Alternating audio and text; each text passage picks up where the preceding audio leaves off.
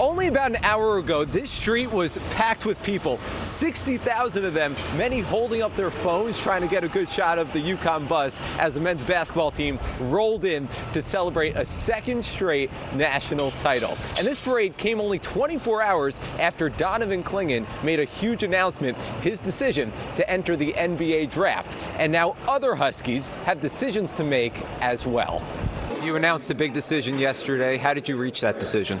Yeah, just realizing, you know, what's the point I'm at, everything I've done, and the opportunity that's in front of me. Um, you know, I have a chance to, you know, be a top 15, top 20 pick, and you know, I, you know, I feel like that, you know, my body and you know, me as a person, me as you know, a player is, you know, matured enough and grown enough to be able to try to take my game to the next level. Back to back, UConn Nation, let's go! I've been taking a lot of classes, and I'll be able to graduate my third year. So, um, yeah, there's a lot of there's a lot of plus. So I'm coming back, and um, you know, coaches are in full support of that too. If I decide to do that, so um, yeah, I love this program so much. I think that's just the main thing too. Coming back, I got to put on the UConn jersey again. With coach, I mean, I feel like I can grow so much more as a player, and I've grown so much this year. So, I mean, I, I can only imagine what another year with him would do. So you know, whether I leave, I mean, I'll, I'll be putting myself in a in, in, a better situation for me and my family.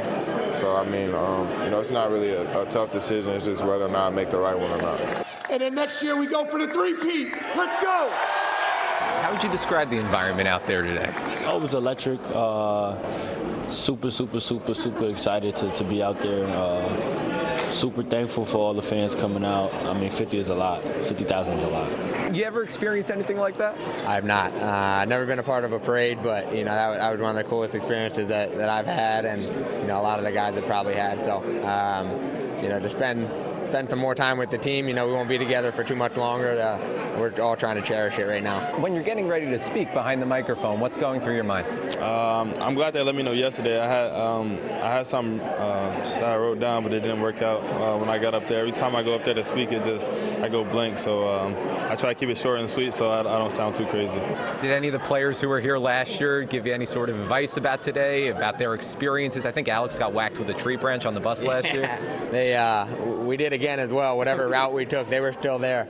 Um, but you know, they said enjoy it, and you know, it's, it's an experience that you know maybe is once in a lifetime. So um, just enjoy it, and you know, it'll be a lot of fun. You can look at this parade as the completion of one of the greatest seasons in college basketball history, which it is. But this is just the beginning of a victory tour for the Huskies. Throwing out the first pitch at a baseball game, a White House visit, things like that. The celebration just getting started. In Hartford, Jonah Karp, Fox 61, Connecticut's news station.